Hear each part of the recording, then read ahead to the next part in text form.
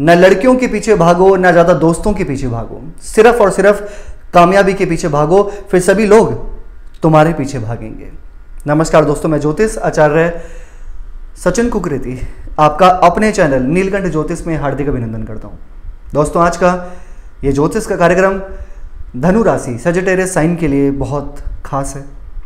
दोस्तों, आज हम चर्चा करेंगे धनु राशि का जून 2024 का मासिक राशि राशिफल, मंथली प्रिडिक्शन।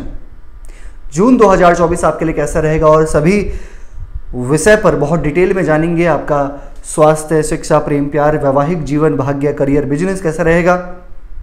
ग्रह आपकी कुंडली से, यानी कि आपकी राशि से कहाँ कहाँ पर ट्रांजिट कर रहे हैं, कहाँ पर उनका एस्पेक्ट है, क्या एनर्जी वो क्रिएट कर रहे हैं, क्या सिचुएशन आपकी लाइफ में लेकर आ रहे हैं, सभी कुछ बहुत डिटेल में जानेंगे। ठीक है? और अंत में बताऊँगा वीडियो के अचूक उपाय, क्या उपाय आपको फॉलो करना चाहिए। चलिए फिर। जानते हैं, आपको बहुत ध्यान से सुनना और समझना होगा, ये कार्यक्रम जन्म राशि, चंद्र राशि, यानी कि मून साइन पर आधारित है सन साइन पे नहीं, ठीक है? अब आपको ध्यान से सुनना होगा कि कैसा रहेगा आपके लिए जून 2024 सब कुछ। आपकी राशि है दोस्तों, नौवे नंबर की राशि है आपकी, धनु राशि, मेष, वृषभ, मिथुन, कर्क सिंह कन्या, तुला, वृश्चिक और धनु, आपकी राशि के स्वामी बनते हैं जुपिटर, यानी कि गुरु बृहस्पति, और बृहस्पति कहाँ है आपके? छठे घर में ये सिक्स हाउस होता है कुंडली का, और छठे घर में साथ में है बुध, शुक्र और सूर्य, साथ में है गुरु के। अब आपके पंचम भाव में है मंगल, राहु आपके फोर्थ में है, शनि आपके थर्ड में है तो केतु आपके टेंथ हाउस में विराजमान है। सबसे पहले आपके स्वास्थ्य के बारे में जान लेते हैं, ठीक है? आपकी हेल्थ दोस्तों, राशि के स्वामी, समझना आपको, समझ में आएगा। ना नेगेटिव ना पॉजिटिव राशि के स्वामी बनते हैं आपके जुपिटर और जुपिटर आपके सिक्स हाउस में है, स्वयं। फ़र्स्ट हाउस से हम विचार करते हैं, हमारा सेल्फ हमारा इम्यूनिटी सिस्टम और कहते हैं ना, लगन जो हमारा लगन होता है, वो हमारी बॉडी होती है, हमारी आत्मा होती है। अब आपके राशि के स्वामी जो गुरु बनते हैं, वो स्वयं जाके छठे घर में बैठ चुके हैं। छठा घर होता ही रोग का है, ऋण का है। भाई, अगर आप हॉस्पिटल में काम करते हैं, विदेशी गतिविधियों में काम करते हैं, आप कोई ऋण का काम करते हैं लोन का काम करते हैं तो फिर तो ठीक है, फिर तो आपकी जो एनर्जी है, वो वहाँ जा रही है, वहाँ क्रिएट हो रही है।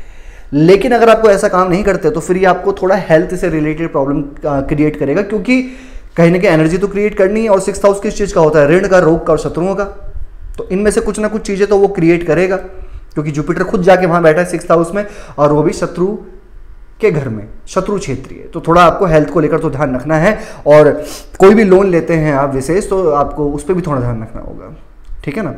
अब आपको हेल्थ पे ध्यान रखना है कि आपको कहीं आप जाते हैं ट्रैवलिंग करते हैं तो वहाँ आपकी थोड़ा हेल्थ गड़बड़ ना हो, आपको खाने पीने पे ध्यान रखना है, आपको अपने डाइजेस्टिव चीज़ों पे ध्यान रखना है। ठीक है? बात करूँ विद्यार्थियों को लेकर, कैसी रहेगी आपकी पढ़ाई?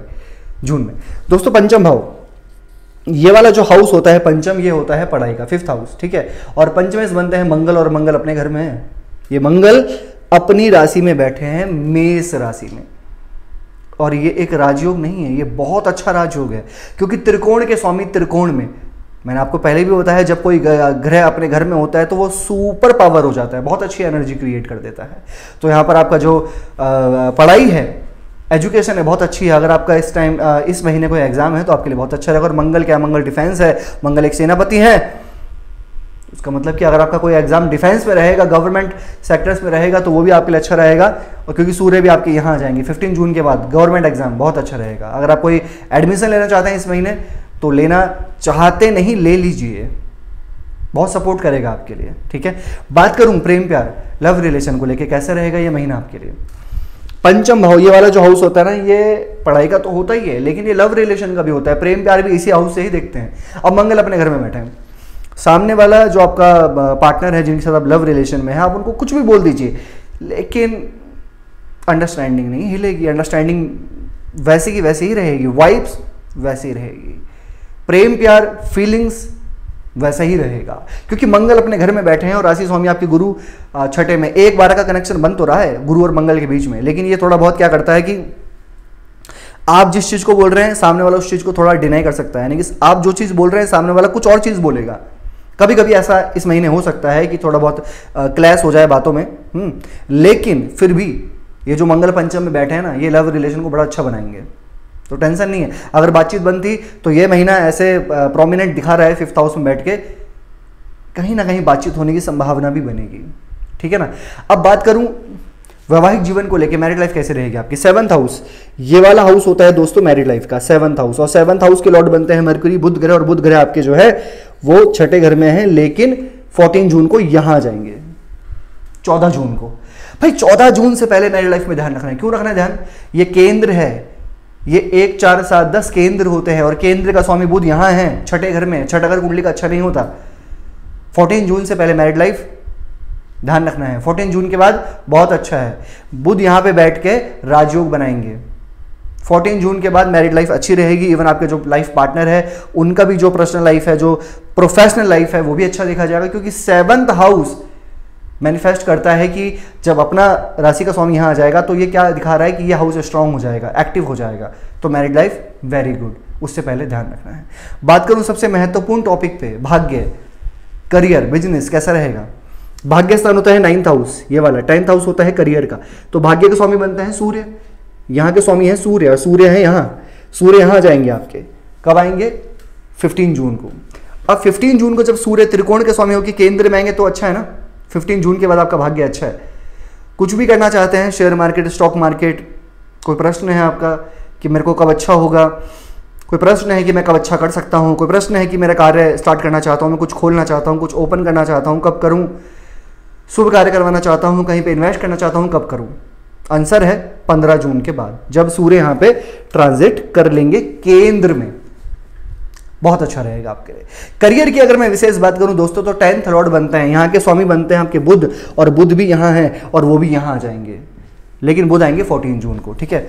अब जब भी टेंथ लॉर्ड सिक्स हाउस में बैठते हैं ना तो ये क्या करता है कि ये थोड़ा सा काम ज़्यादा करवाता है, और भागदौड़ करवाता है, और थोड़े एफर्ट्स भी लगाने पड़ते हैं। 14 जून से पहले पहले क्योंकि बुध छठे घर में है, ऋण रोग शत्रु, यानी कि आप टेंथ लॉर्ड टेंथ लॉर्ड उठकर, वहाँ से उठकर बुध जो है, छठे घर में जा गए हैं चले गए हैं, यानी कि स्वयं न्योता दे रहे हैं। किसको? एनिमीज को। शत्रुओं को। खुद जो है वहाँ पर जा रहे हैं आप। खुद जो है आप मतलब आर्ग्यूमेंट कर सकते हैं शत्रुओं के साथ में। बॉस के साथ में सीनियर्स के साथ में। कुछ ऐसा ज़रूर होगा कि कहीं ना कहीं थोड़ा बहुत आपके आर्ग्यूमेंट देखे जा सकते हैं। इससे थोड़ा बचकर रहिएगा। 14 जून से पहले। लेकिन 14 जून के बाद जब बुद्ध केंद्र में आएँगे, तब सरकार आपकी चलेगी। यानी कि तब आपका रुतबा चलेगा। क्योंकि बुद्ध अपने घर में आ जाएँगे, आपका टैलेंट आपका काम करने में जो मन नहीं लग रहा था, जो स्ट्रेस था, जो एंग्जाइटी थी, जो टारगेट आपको परेशान कर रहे थे 14 जून के बाद वो नहीं करेंगे। क्योंकि बुद्ध फिर आपके यहाँ पे आ जाएँगे, आपके काम करने का तरीका, आपके कम्युनिकेशन अच्छा हो जाएगा, क्योंकि Budh aspect to first house after 14 June. तो बहुत अच्छा रहेगा आपके लिए करियर ठीक है? और नौकरी मिलने की संभावना भी 14 जून के बाद ज़्यादा अच्छी है, ठीक है ना? बिज़नेस की अगर मैं बात करूँ, दोस्तों, ये महीना बिज़नेस को लेके 70 टू 80 परसेंट बहुत अच्छा है, और मिड जून के बाद तो बहुत ज़्यादा अच्छा है। आप चलाक रहेंगे, चतुर रहेंगे, बहुत एक्टिव रहेंगे, बहुत एनर्जेटिक रहेंगे, लेकिन 14 15 जून के बाद, ठीक है? शनि आपका जो है थर्ड हाउस में है, काम करना पड़ेगा थर्ड हाउस में शनि है थर्ड हाउस को थर्ड हाउस बहुत ज़्यादा एक्टिव हो रहा है। थर्ड हाउस बहुत एनर्जी क्रिएट कर रहा है। थर्ड हाउस आपकी कुंडली के लिए थर्ड हाउस ऐसा दिखा रहा है कि शनि वहाँ पर बैठ के क्या कर रहे हैं? आपको एनर्जी दे रहे हैं, पराक्रम दे रहे हैं। आपको बोल रहे हैं, काम करो काम करो काम करो, भागो, काम करो। निकलो। लेकिन सफलता भी मिलेगी। ठीक है? क्या उपाय करना चाहिए आपको दोस्तों? सबसे पहले तो गुरु का बीज मंत्र करो। गुरु आपके कमज़ोर हैं और कंटिन्यू करते रहो। ओम ग्राम ग्रीम ग्रोम स गुरुवे नमा 108 बार डेली हनुमान चालीसा डेली इसके साथ में सूर्य का बीज मंत्र डेली ओम हराम ह्रीम हरोम सा सूर्य नमा 108 बार। ठीक है? कैसे लगे आपको वीडियो? लाइक कीजिएगा शेयर कीजिएगा, बने रहेगा हमारे साथ में। धन्यवाद।